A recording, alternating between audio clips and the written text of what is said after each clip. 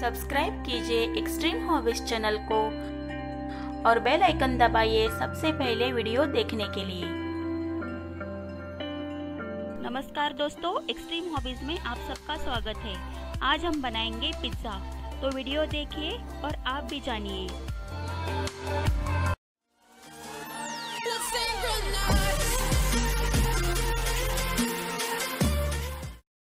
सबसे पहले पिज़्ज़ा का बेस बनाने के लिए हम पिज़्ज़ा का डो रेडी करके लेंगे। इसके लिए मैंने चार कप मैदा लिया है। एक बड़ा चम्मच ड्राई ईस्ट नमक स्वाद के अनुसार, चीनी और एक बड़ा चम्मच तेल। तो सबसे पहले हम ईस्ट को एक्टिवेट करके लेंगे। इसके लिए मैंने हल्का गुनगुना पानी करके इसमें एक चम्मच नमक, चीनी और ड्राई ईस्ट डाल दिया है। अब हम इसको 10 मिनट तक एक्टिवेट करने के लिए रख देंगे। 10 मिनट बाद ईस्ट एक्टिवेट हो गया है। तो अब हम पिज़्ज़ा का डो बनाएँगे। इसके लिए एक बार इसको अच्छे से मिला कर लीजिए।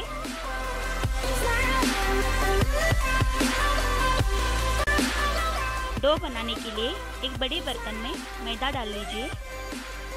इसमें अब एक बड़ा चम्मच तेल डालिए।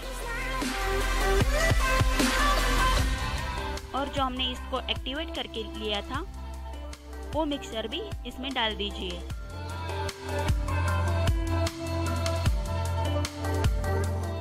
अब इसको अच्छे से मिक्स करके सॉफ्ट डो बना के लीजिए। अगर ज़रूरत हो तो आप इसमें थोड़ा पानी ऐड कर सकते हैं।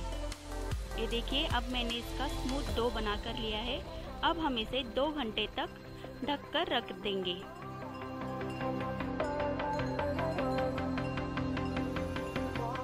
दो घंटे बाद पिज़्ज़ा का डो फूल कर बन गया है। ये देखिए तो एक बार इसे अच्छे से मिक्स करके मसल लीजिए।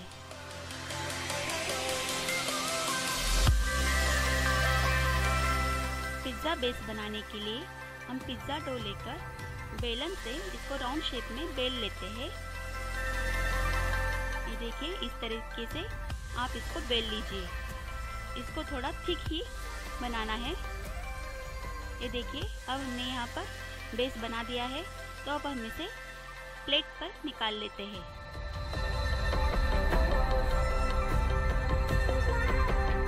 प्लेट पर डालकर बेस के किनारों को आप हल्का सा प्रेस करके लीजिए।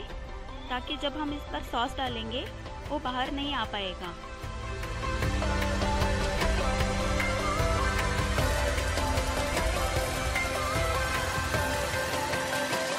अब हम एक फोक लेकर पिज़्ज़ा बेस पर छेद बना कर लेंगे। यहाँ पर मैंने लिया है स्वीट कॉर्न। प्याज को मैंने राउंड शेप में कट किया है। टमाटो, पनीर के मैंने लंबे और पतले स्लाइसेस कट किए हैं। औरेगानो और चिली फ्लेक्स पिज़्ज़ा बेस पर लगाने के लिए मैंने टमाटो केचप लिया है और ये है मोजरेला चीज़ अब हम पिज़्ज़ा बेस पर टमाटो केचप स्प्रेड करके लेंगे और इसको अच्छी तरीके से स्प्रेड करके इस पर हम टॉपिंग्स डाल कर लेंगे।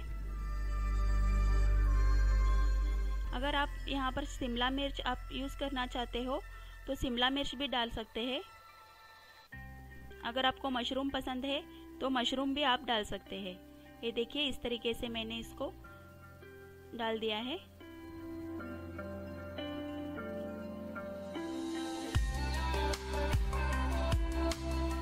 अब हम इस पर चिली फ्लेक्स डाल कर लेते हैं। थोड़ा सा ओरेगानो इस पर स्प्रेड करके लीजिए।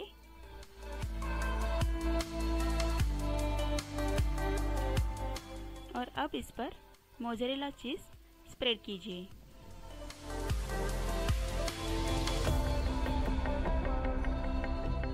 अब हम पिज़्ज़ा को ओवन में बेक करके लेंगे। मैंने ओवन को पहले से ही प्री हीट कर, करने के लिए रख दिया था। ओवन को मैंने कन्वेक्शन मोड पर 180 डिग्री पे 20 मिनट के लिए सेट कर दिया है। तो अब हम इसमें पिज़्ज़ा बेक करने के लिए रख देते हैं।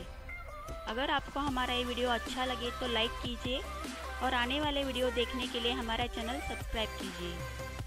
20 मिनट बाद पिज़्ज़ा रेडी हो गया है। तो मिलते हैं अगले वीडियो में।